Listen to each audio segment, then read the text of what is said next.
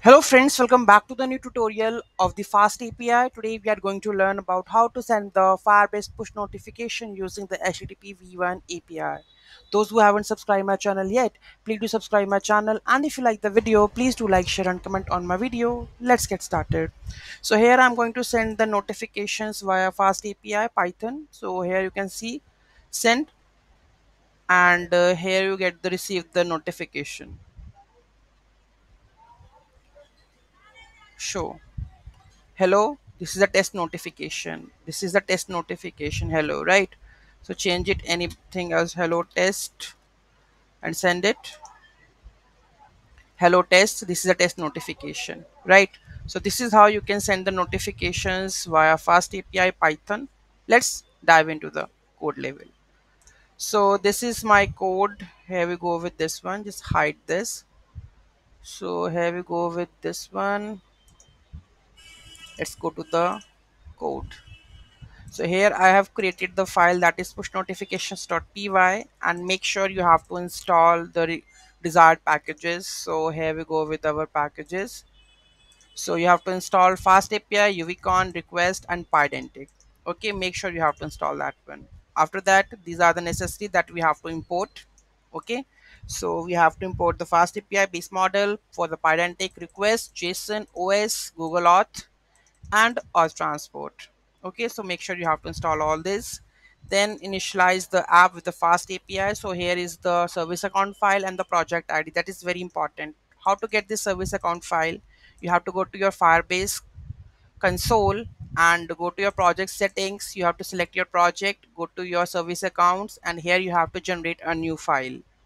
So in the bottom of it there is a option that generate new okay so if you go there generate new private key generate and the json file will be downloaded. Okay so make and here you can see that it will download it and just make sure copy this and paste into your project. Okay and here the thing here i have pasted that one. Okay and make the file path over there. Okay and this is your project id so the project id would be go over this one. This is your project id copy and paste it and add it over here now load the firebase service account credentials like this. Okay? Then the function is get the access token because for this we require the access token or the bearer token. So we have to call this function. Okay? Now this is our class push notification payload base model. So we require title body and the token. So now we are going to make a post api the send notification. So this is our function which requires the push notification payload which requires title body and the token okay?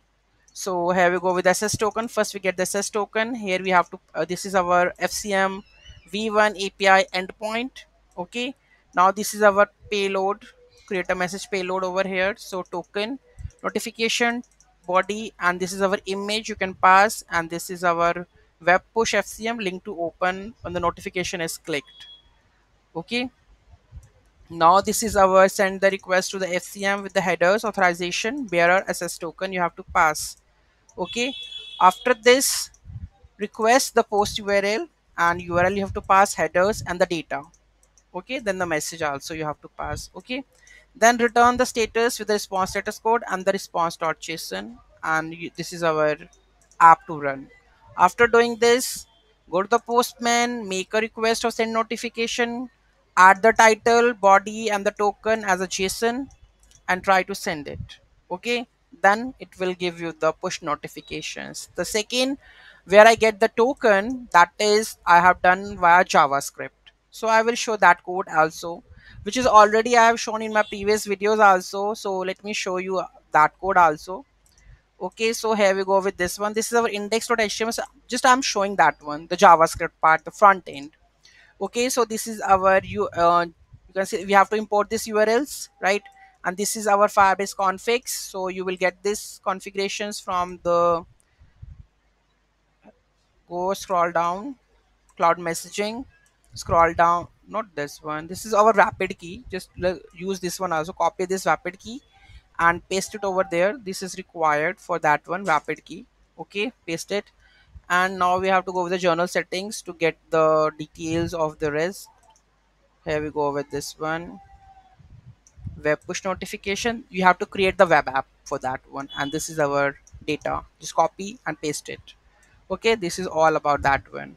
Right? The firebase config. Okay let me word wrap this. And after this we have to scroll down. So this is our app initialize the firebase. And now we have to register the service worker with sw.js get token. So here we get the current token and uh, token retrieve. Else there is a issue with the registration token. And then we have to go with the request permissions for sending the notifications. Then here we go with this one granted. Notification permission denied and this one. Okay this we don't require so leave it. And uh, that script and body and the html then we have a sw.js file. So import the firebase script required for the firebase cloud messaging. Else add the event listener when there is a push. Then you have to show the body message and the image. Okay? So this is how we can implement this in the front end. Javascript the back end.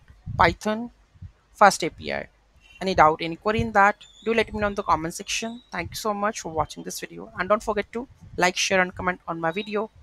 Have a nice day